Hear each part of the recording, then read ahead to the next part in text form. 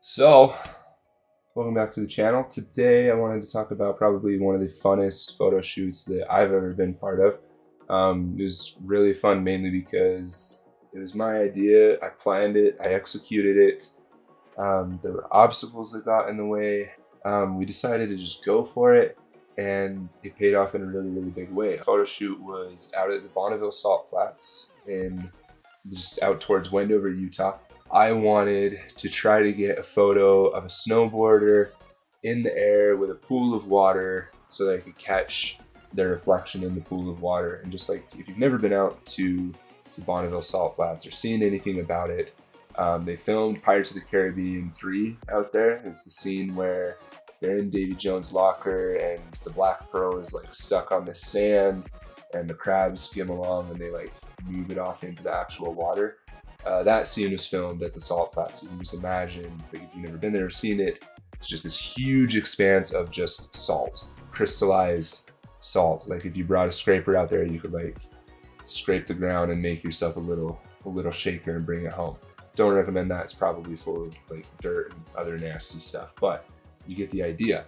Um, so just this totally alien landscape, and I thought it would be awesome to just contrast something that's like snowboarding where like you usually do it on snow, which is white, but then to take it onto just a completely flat surface, try to create something that no one's ever seen before, that no one's ever done before out at the salt flats. Other photographers have done something similar where like, uh, so Red Bull Illume is a competition, is a photo competition for action sports and adventure style photography. Um, there's a photographer who did really well and placed really high by taking a photo of they built a BMX jump. It was like a quarter pipe, and they had a BMX rider ride up this quarter pipe and do a couple tricks, and that photo did really well in that competition. Um, I hadn't seen and still haven't seen anybody who did something like that with a sport that just has no place being out there um, on top of a reflection. And then while we were out there, we had this crazy idea and we ended up throwing a curveball that I think paid off really, really cool. So anyway, like started off, I designed the ramp, I built it myself. I got a 50 gallon drum of water loaded in the back of my dad's truck and started from his house as like a base camp because he lives out that way. Um, drove everything out and set up this jump on the salt flats. Um, got a couple of my snowboarder friends who were young and reckless enough to try this with me.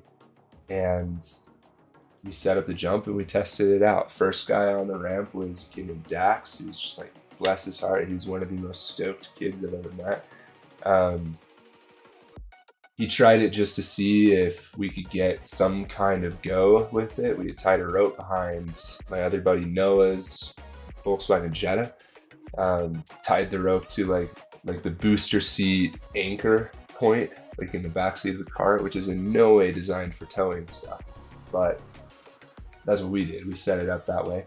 Um, I had bought some like linoleum flooring because I thought maybe that would have or less friction than just like going straight from the salt onto the wood gym. It definitely worked for the ramp part. I'm not sure that it had any less friction than the salt, but regardless, anyway, Dax stepped up first. He tested the linoleum, gave it a thumbs up, and then it was just like it was time to test the ramp and see how the ramp did. Um, I was only brave enough to test the ramp the one time.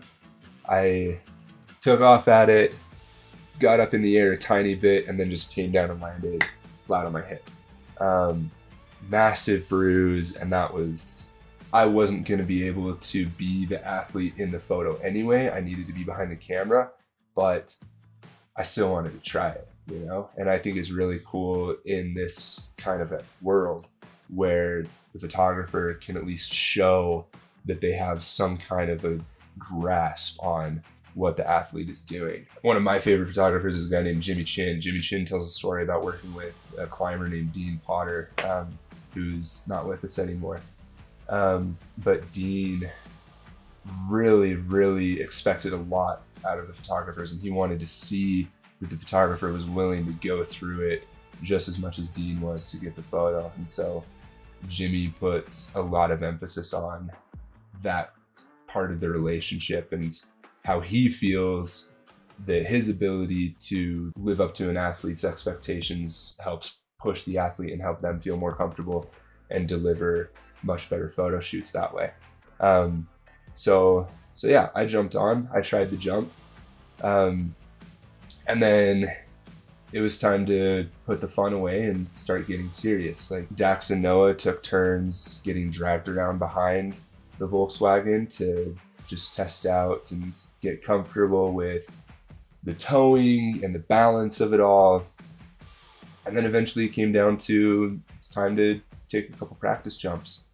Um, once they felt comfortable enough with that, we unplugged the the gallon of water or the 50 gallon drum of water from the back of the truck and we made our own puddle. That was one of the concerns going into it was is were we going to be able to find a spot where we could get some standing water to even capture any kind of a reflection. And then the flip side of that, is there going to be too much water? Like, is are we just going to get stuck out there in just like salty, muddy mess? Stars aligned, we were able to pull it off. Went into it f- with the full anticipation of, you know, we may just end up having a little barbecue and turn it around and going home.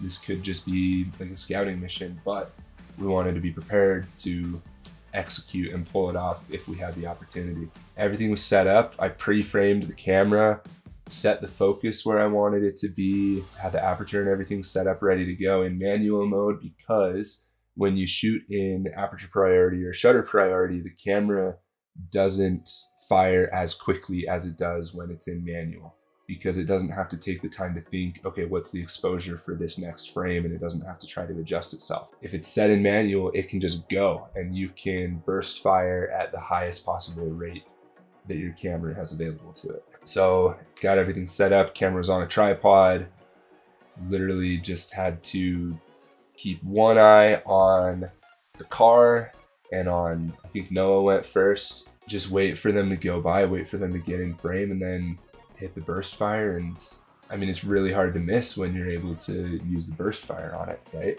So, so yeah, Noah went first, then we had Dax, and was really really excited with what I was seeing in the camera. Couldn't wait to get it out, get it in post. Um, and then as we were kind of wrapping up, we still had some sunlight left, just a little bit because we timed it just right to be with golden hour. And then as the sun went down, the sky started turning this kind of purple color. And I was like, okay, do we just do the same thing again with a little bit of sunlight? Or do we pull out a can of gasoline and light some gasoline on fire in front of the jump? Just use some of that, uh, some of that compression to give that illusion that they're jumping over the fire so we could do it safely um, we weren't equipped to safely have them jump over actual fire, so we used an optical trick. But yeah, we lit some stuff on fire, and then the sky was purple. Dax's jacket was purple, so it ended up just it ended up popping, and it's probably one of my favorite photos I've ever taken. That being said, there's a couple things that I would like like to do differently next time I do it.